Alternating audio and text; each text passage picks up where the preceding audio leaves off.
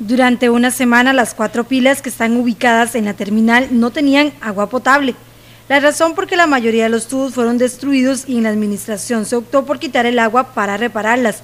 José Campos, administrador del mercado municipal y terminal de autobuses, dijo que en efecto se presentó el problema, pero que ya está solucionado. De las pilitas que tenemos en la terminal de buses, alrededor de una semana estuvimos sin agua, debido a que personas inescrupulosas nos dañan lo que son los, tubos, nos dañan la misma cañería, entonces eso ocasiona que para evitar el desperdicio tengamos que cortar el, servicio hasta que lo mejoremos.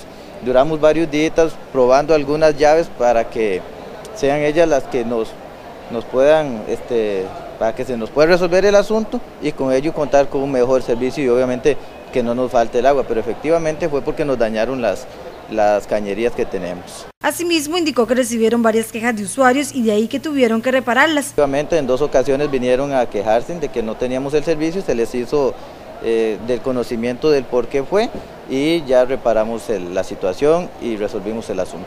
Ahora la población que desee ya puede tomar agua potable sin problema.